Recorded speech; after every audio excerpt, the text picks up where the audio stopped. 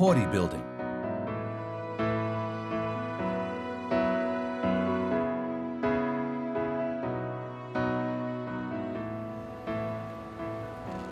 Constructed in 1932 as the head office of building locks and fittings trader Hori Shoten.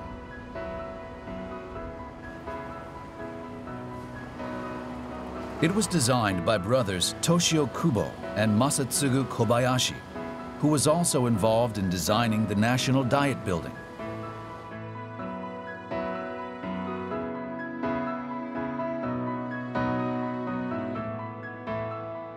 Renovations were carried out by a major general contractor. It is the second time that they worked on the preservation and utilization of a historical building. Currently, it's being used as a shared office managed by Realtor Goodroom. This well-known building is maintained with the revenue generated.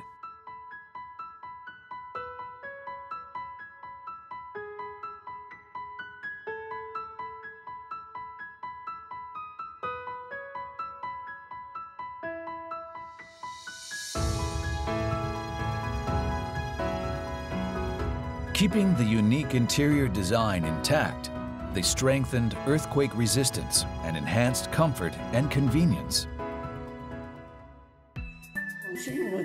My father in law had a sharp sense of beauty.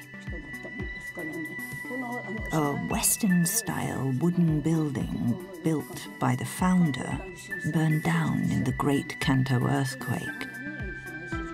The second generation, my father in law, studied what kind of building to put up next.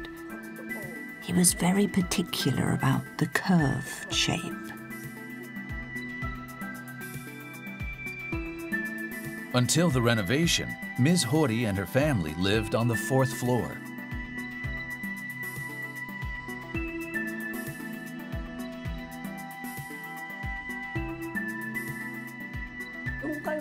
The fourth floor was like a bungalow.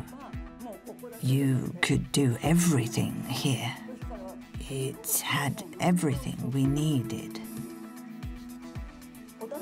Where I live now, there's a lot of greenery. But here, only trees lining the streets. To see the season, I looked at the kimono people wore outside. I cooked while looking out through the windows. It was a wonderful time.